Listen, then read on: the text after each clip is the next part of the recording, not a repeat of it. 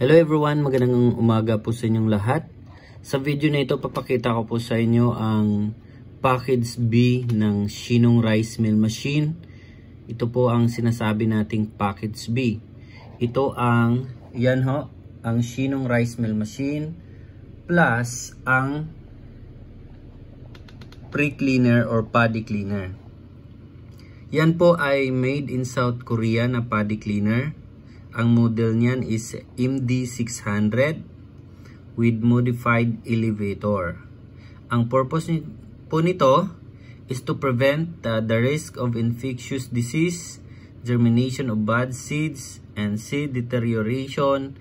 In addition, you can cut cost because these can reduce pesticides use. Maganda rin po ito sa mga seed grower nating mga kababayan, na mga farmers. Okay? Ito yung picture natin sa front. Ayan ho. Ito naman po ang uh, picture ng back o sa likod. Wala po ako mapakita sa inyo ngayon na actual actual nito dahil andun po sa warehouse namin. Pero available po ito. Meron po tayong uh, available na stocks. At ito yung specification ng uh, paddy, paddy cleaner. Ang motor po niya ay maximum 2 horsepower motor, electric consumption, and ho, single phase lang po dahil nasa 2 kilowatts lang po. At ang treatment capacity ay nasa 600 to 800 kilograms po. Ang type nito ay electric heater type. Ayan. Paddy cleaner, ang height nito nasa 162.50 cm. Ang width nito ay nasa 103 cm.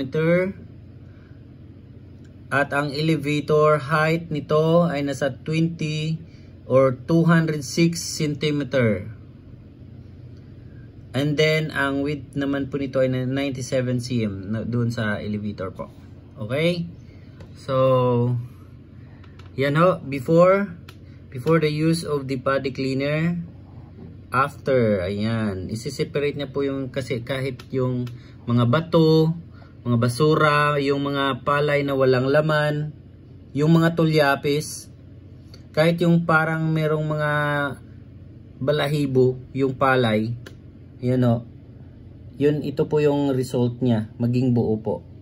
Bago po papasok dito sa ating Shinong Rice Mill Machine. Ito talaga ang perfect match niya. Paddy Cleaner plus Shinong Rice Mill Machine. Same brand lang po ito, Shinong. At saka yung ating uh, Paddy Cleaner. So, if you are asking about the price, PM lang po kayo, mag-message lang po kayo sa akin.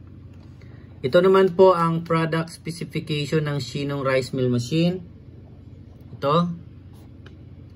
Ang size po niya at saka yung width at uh, ilang horsepower po.